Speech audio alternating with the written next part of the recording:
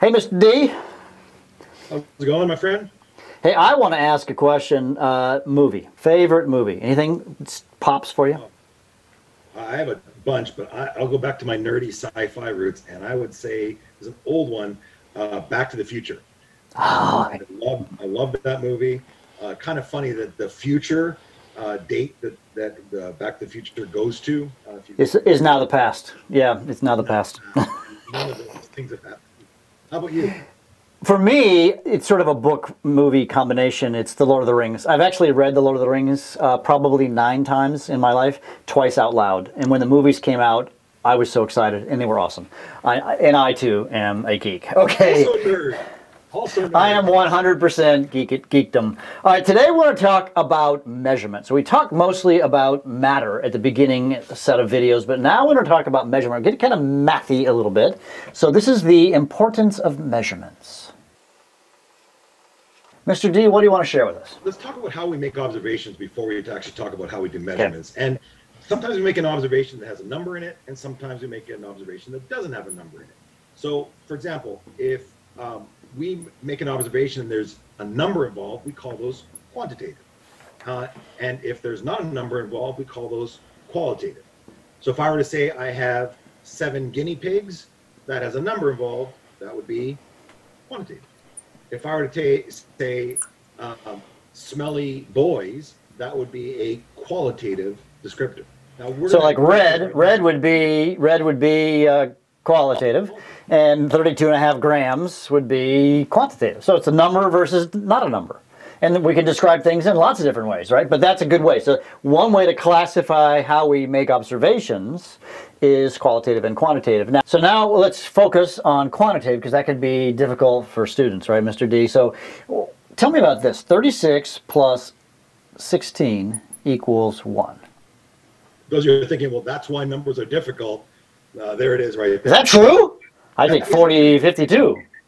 And if you if you take a look at that, you can be like, well, how is that possible, right? It's not possible. No, no. Well, well wait. how, how is it possible? Did, well, how about if we did uh, 36 weeks plus 16 weeks equals one year? Oh, I see. So we got 36 weeks. I'll say WK. Now, yeah, yeah, yeah. So what matters is that you must also have like what you're measuring next to it. And folks, I actually did. I actually did this with this uh, in class uh, a couple years back, and a student off the cuff just said, "Well, what about 36 cards plus 16 cards equals one deck?" Which yeah. speaks a little bit to probably their gambling problem, but um, there's more than one way to have units mean something. So we say this always, don't we, Mr. Bergmann? A number by itself means what? Nothing. So write that down. A number by itself means nothing. So what does it need? It needs this word right here we call a unit. So if you write a number, so I'll say this, never, ever, ever, never write a naked number. A naked number is a number without a unit. You might see on your papers, naked number. Don't get, don't be naked. Okay, sorry, just saying that. All right, so you must have that. So let's uh, jot this down. You've got a unit, you've got exponent, and you've got math. And this is a workflow. Sketch this, folks. Explain this now, Mr. D. So it's really important. Uh, you might have heard of order of operation in math before, but it's really, really important that you always follow this order. So whenever you're dealing with a problem, and if there's a unit in it, you have to take care of it first. After take care of units, you can go to exponents, after you take care of the exponents, then and then only then can you actually do the math for significant figures, which we'll talk about. Now, you don't know very much about how we manipulate units or exponents and whatnot, but we are going to talk about right now about how we manipulate exponents. Just have this flow chart uh, somewhere because we're going to use it all the time. So Mr. D, next what we want to do is we want to look here at exponents and learn a little bit about how scientists work with exponents. So a couple of rules here. What's the first rule here? So blank provides a way for very large and small numbers to be easily written. What's that? What should we put in there? Scientific notation. So, scientific notation. Got it. Okay, so we're going we're to learn about something called scientific notation. You might have been familiar with that, but also it helps us with what else? Significant figures, which is going to be the ah. focus on our next video. That's our next video. Okay, good enough. All right, and then secondly, in order for scientific notation to be, need to know how to do what? You have to be able to shift decimal places in order to be able to work with exponents. Decimals shifting. Okay, good, good, good. And and we need two simple rules. What are the two simple rules? It's kind of corny, but we do it this way: lefty, largy. Lefty. Okay, and the second one? The word lefty is mean when, means whenever you move the decimal place to the left, you make your exponent larger. So, so if you move it to the left, you make your exponent larger. Okay, give me some example. Well, let's take a look at some examples. Let's take the example of 300,000. That's a big number, right? So if I want to say lefty largy, so how would I write this in scientific notation? Well, you a decimal or an implied decimal. Now, there is well, there's a decimal at the end here, right? Or implied at least, right? Yeah, and if I want to move it to the left, I can move it one, two, three, four, five. So how do I write that? So you wrote you moved it five lefty. We have to make our exponent five largy. Now remember, every number has an exponent on the end of it. If I just say the number 13, it really is 13 times 10 to the zero. We don't say 13 times 10 to the zero because that's silly. But there is a 10 to the 0 there, which means 1. Because 10 to the 0 is to the first power, all right? But you could even write this as 1.3 times 10 to the first if I move it here. Now, we would never do that with number 13. So when we talk about this, we use the scientific notation. We have really big numbers, and actually we'll learn in a minute, uh, really small numbers. Let's do another example. Let's say we have 930,000,000. So really big number, right? 930 million. So what would I do? So same thing. Start where we think our decimal place is. Here. One, two, three, four, five, six, seven, eight. So between the 9 and the 3, you always go to the first non-zero digit. So it'd be 9.3 times 10 to the 8th. And actually, we should make a note here. What we are doing is we're breaking a rule we just talked about. Maybe this is, you know, kilometers and this is meters per second or something like that. We would have some kind of a unit there, right? And then a great teaching mechanism there. We tell them a number by itself means nothing, and then we just leave out all the units. Yeah, yeah, yeah. But what about this one here? Five, four, three, two point one, two, three, four. How would you do that one? So here you could you could actually shift your decimal place in either direction, but we can start at the decimal place, an actual decimal place, and shift our way over towards the left. So I go over three, so this would be 5.4, 3, 2, 3, 4, times 10 to the, what was it, three place? Yeah, third. Yeah, that would be a weird one. I would just leave it this way if that was the case. Uh, but yeah, yeah. So anyways, any other ones that we think we need to do? I think that's good. So that's lefty largy.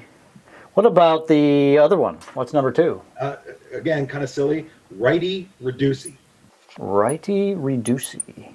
This is a, a, a, a deviation from the righty tighty lefty loosey thing, but uh, righty reducey, which means if you move your decimal to the right, you reduce your exponent. As a note, you're going to move it to the right when you have small numbers. These are obviously big numbers. Now we're going to work with teensy weensy smally numbers, 0.00089. So if I've got 0.000 whatever 89, I want to move the decimal over to the right because righty righty reducey 1, 2, 3, 4. So the decimal always goes after the first non-zero digit. So that's 8.9 times 10. How many was it? 1, 2, 3, 4. Now this is tricky. Do I write 4 here? No, and, and remember we said before, it, eh, pretend we have a 10 to the 0 here. If we want to reduce 10 to the 0 by 4, Oh, you subtract 4 from 0, so that's negative 4, right? Yeah, yeah. Or we take another number. Let's just do them over here. What if I've got, you know, 0 0.000000004, let's just say. And this is in uh, meter, something like the width of an atom or something like that. And, uh, well, it's just going to be 4 times 10 to the minus some big number. 1 so 1, 2, 3, 4, 5, 6, 7, 8 times 10 to the minus 8th meters. And uh, let's do it the reverse though, Mr. D. Let's do two different problems. Let's say I've got 4.3 times 10 to the 6th. How could I write that as a regular number? How could I go the other direction? Well, if you're gonna if you're gonna reduce the number or reduce the exponent, then you're going to have to go right with the decimal if you want. Because I want to make it back to 10 to the 0, right, so to speak. So I want to make it so it's like a regular number. So now we're actually going to apply rule number 2, and we're going to go righty six places. So I'm going to say 4 and then 3, and then the first place is here. So one, so that, that counts as 1, 2, 3, 4, 5, 6. And let's say this is kilometers, maybe the difference between here and the sun. All right, so that's how you would do that. But what if I take a small number? Let's say I have, let's say 4.3 again, or I said 8, never, times 10 to the minus minus sixth. And again, let's say that's in uh, meters or something like that. How would I write that in regular exponents? And, so if I want to do this, I want to make, I want to move it over to the left 6 because we're going to make it largy. And so we've got 4 and 8. The first decimals to here, so that's 1, 2, 3, 4, 5, 6. And there we have it. Now, one mistake I've seen a lot of students do is they just add zeros. So they, they see the six and they go one, two, three, four, five, and they add a sixth zero. It's not zeros, it's places as you move across. And the same thing here. This was 10 to the minus six and one, two, three, four, five. Oftentimes you have like one less zero than you expect. So keep that in mind. Uh, Mr. Bergmann, you mentioned a couple of times how we always want to have just one number to the left of the decimal whenever we're writing. Uh, uh, we sometimes call that good form, at least I do, good form. Um, so if you ever hear us talking about write it in good form, it just means we want you to shift the decimal place all the way over to so there was only one number to the left. And the reason I actually will do that, my old high school chemistry teacher taught me this, is if you've got 0, 3, like 0.03, sometimes that it's not easy to see that, and then you just see 0.3. But if you say 0.03, and those really are the same number, I know that. But sometimes you, you, you can miss it, all right, and it's hard. Or actually, even worse case, if you've got 0.3, if for some reason your eyeball doesn't see the decimal there, the point, uh, but if you have 0.3, it's going to be easier to spot that. Uh, when you're when you're writing out numbers. Anyways, so let's first of all talk about multiplication. So what do you do? Yeah, uh, whenever you have ex uh, two exponents and you're multiplying them together, you add the exponents together. So if I have 3 times 10 to the 6th times uh, 2 times 10 to the 8th, then you would take 3 times 2, so that's 3 times 2, of course, 6 times 10, and then we add the exponent. 6 plus 8 is 14. It's that, that simple. Now, we'll show you how to use these on your calculator if you get lost, because oftentimes you're not going to have nice, pretty numbers where you can do it in your head. All right, what about divide? Divide is subtract. So what's the rule? What do you do? Not add exponents, you? Subtract exponents. Subtract exponents. So let's say I take uh, 6 times 10 to the 14th divided by 2 times 10 to the 8th. 6 divided by 2 is 3. 3 times 10, I'm going to subtract the exponents. 14 minus 8 is 6. Okay? And then what about add and subtract? This is actually the hardest thing to do because you have to go back to what we just talked about, shifting decimal places. You always have to make the exponents the same. So make exponents the same. So let's say I have 6 times 10 to the 14th. I'm going to add 3 times 10 to the 15th. And what I need to do is I need to make them the same, right? So what I need to do is, let's say there's 3, I want to make them both, let's say, to the 14th or the 15th, I think, right? Yeah. So I'm going to make this the 15th, so I'm going to move this decimal to the left. I'll say 0.6 times 10 to the 15th plus 3 times 10 to the 15th. And it, I'm just going to add 0.6 and 3, so that becomes 3.6 times 10 to the 15th. Just remember the now rule we, lefty largy, righty reducing. And uh, honestly, if I were you, I would just do this on your calculator and let it solve that. Um, and you're going to learn how to do these on your calculator using exponents as well because you're going to be using some big numbers and then the calculator can solve these problems. But it's going to be hard to understand how to read the calculator. All right, folks, that's all for this video. Any last thoughts? No, uh, let's try these. Awesome. We'll see you in class.